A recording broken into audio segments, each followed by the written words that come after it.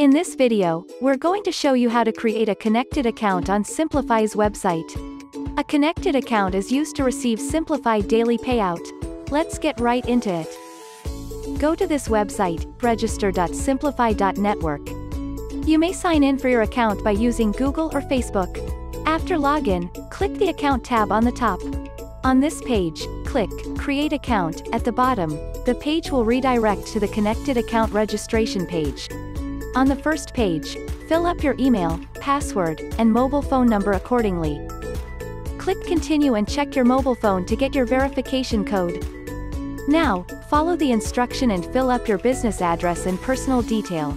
On the business detail page, you may select industry as telecom service.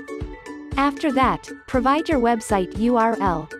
You may insert your Facebook profile link, WhatsApp conversation link, or any others link you wish to put. Then, fill up the product detail and click Continue. On the next page, select and fill up your bank account. This bank account is used to receive the payout from Simplify. Next, you need to fill up your business name or your name on the support information page. It could help your customer recognize your business in the statement.